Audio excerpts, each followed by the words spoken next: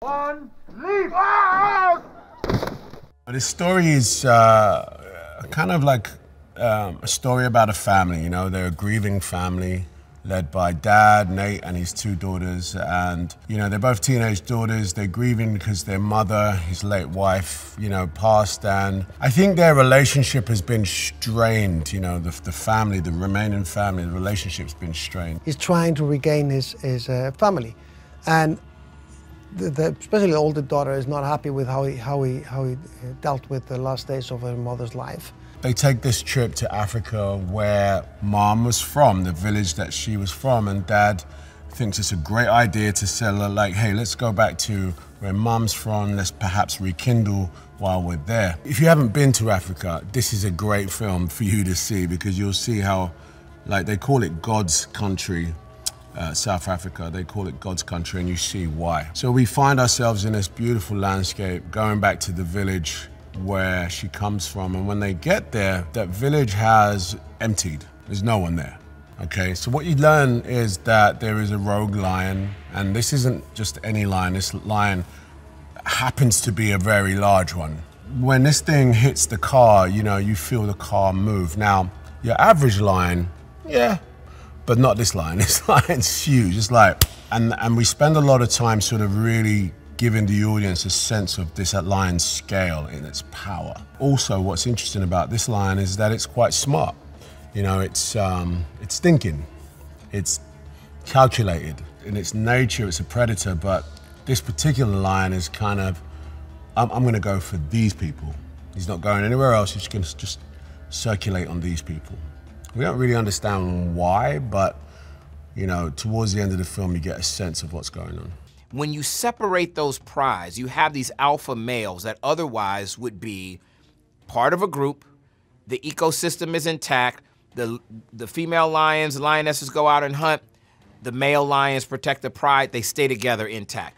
When you separate them out, you create these rogue lions. And this is an examination of what happens when a rogue lion discovers who the real enemy is and the real enemy is man.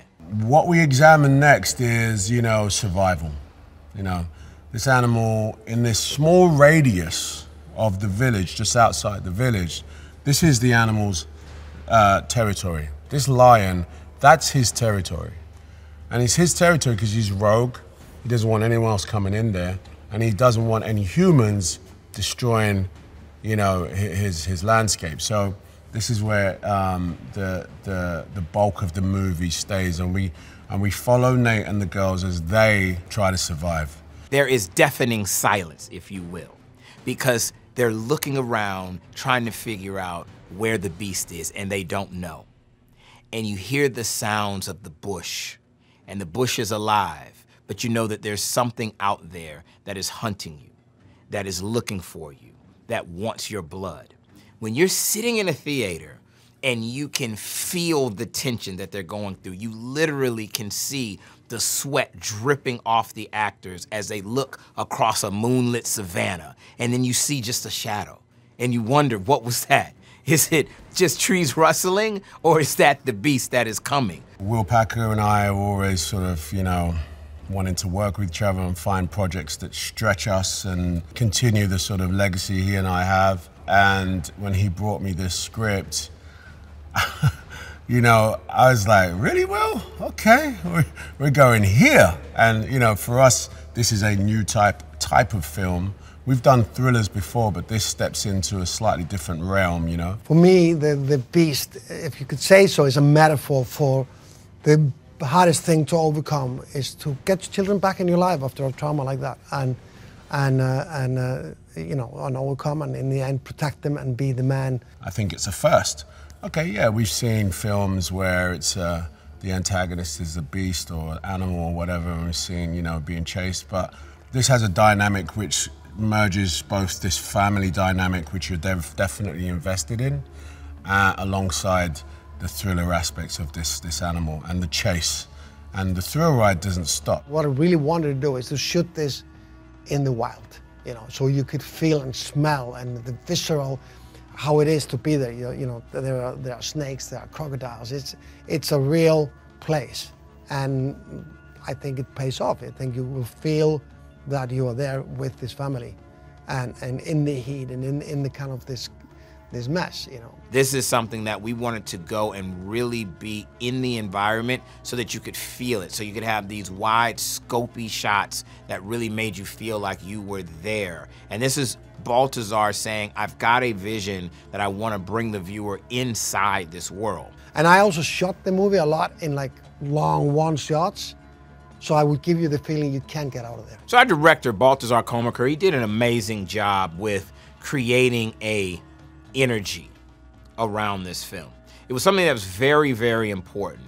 We knew that we were going to have a family in peril. We made a very specific decision to shoot in Africa, in South Africa, deep in the bush of South Africa. This is not a green screen. Nate is a doctor, played by Idris Elba, uh, and and uh, and he, he's uh, not in a great place in his life. He's uh, separated from his wife. He has a bit of a drinking issues. He does whatever he can to, you know, try and get his family safe. You know what I'm saying? Like, um, he doesn't know how to use guns. Uh, that's not his thing, but he will.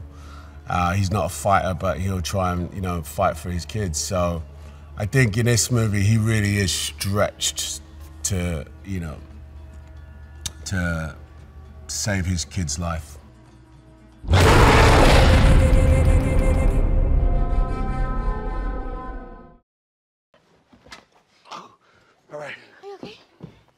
Pass with a gun. Come on.